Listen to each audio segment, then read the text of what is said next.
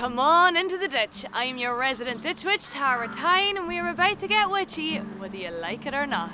We've just returned from taking some footage of the rock art at Drumirril or Deer Park, just south of Inniskeen village. I had a lot of stuff that I wanted to say, but it was way, way too windy to shoot. It was, uh, it felt like gale force winds while we were up there. So I got the footage, did my best to capture it. I'm going to just show it to you now with some uh, voiceovers over the top of it. Uh, I figured it was the best way to do it. So let's have a look at that now and see what we can find. I want to take a quick moment here to thank the owner of the land where the rock art is located and to relay a message from her to those who may be thinking of visiting. The land is private and is used for agricultural purposes. Any incursion onto the land without her knowledge or express permission will be considered trespassing. The reason for my being given access to this site was so that I could upload this footage to YouTube where it's available for all to view without disturbing the site itself. And in my personal opinion, it honestly wouldn't be worth visiting unless you've done enough research to pinpoint exactly where amongst the 70 plus acres of fields each of the isolated outcrops is located. So, without further ado, let's get into it.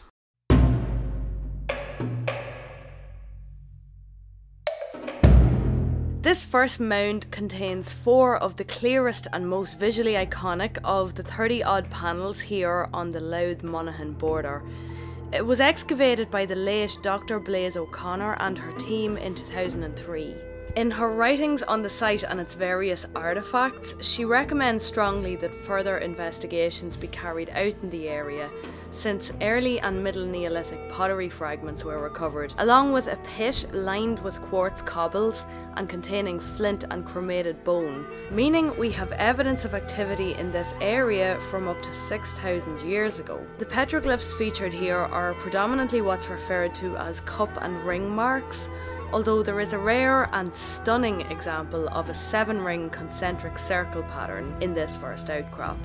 Honestly, the patterns are really difficult to make out in most cases, so to an untrained eye like mine, it was nearly impossible to discern between features of erosion and actual intentional carvings, especially knowing that carvings were often integrated with existing features in the rock. So I've done my best here to capture the ones that I felt to be carved and I had checked them off against the GPS coordinates that I'd found Please don't at me if I'm wrong, I'm doing my best here. Along with other examples of cup and ring marks and megalithic art in the area, the Drumirril concentration is one of the most prolific in Ireland. The style known as Atlantic rock art and also referred to as Galician rock art is often found along ancient routeways, such as the ancient route southwest Tara from Dundalk, as I believe likely existed somewhere around this area. In Britain in particular, there seems to be a common pattern of associations made with certain topographical features, such as valleys, water sources, or high ground although those associations can't be similarly applied across the board in Ireland. However, Irish examples do often come with really nice views, just like the ones in Britain.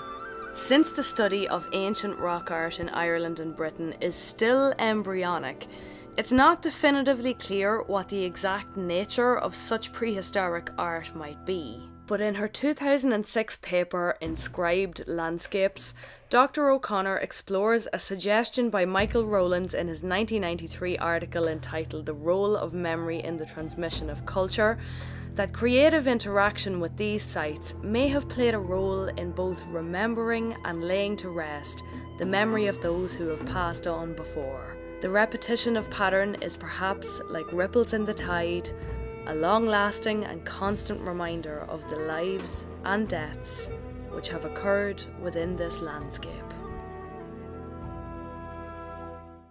Lost the long hours of pleasure, all the women that love young men.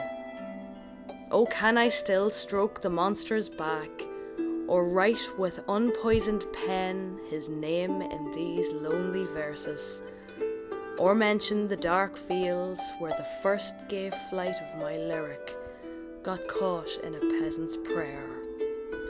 Mullahincha, Drumirril, Black Shanko, Wherever I turn, I see in the stony grey soil of Monaghan dead loves that were born for me. So I hope you enjoyed this look at the ancient landscape of Inniskeen village. Hit subscribe for more fun and witchy adventures. I upload every Thursday and usually on a Monday or a Tuesday as well and you're not going to want to miss it. Slán goodbye